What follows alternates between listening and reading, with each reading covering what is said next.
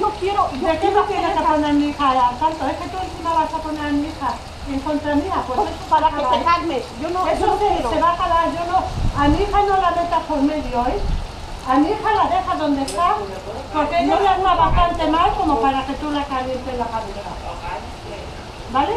A mi hija no la molestes porque ella tiene sus cosas que se encuentra mal por culpa de esto. O sea que a mi hija la dejas aparte.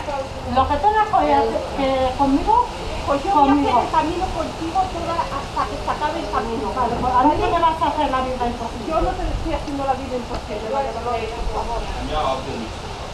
No es culpa mía que esté lloviendo.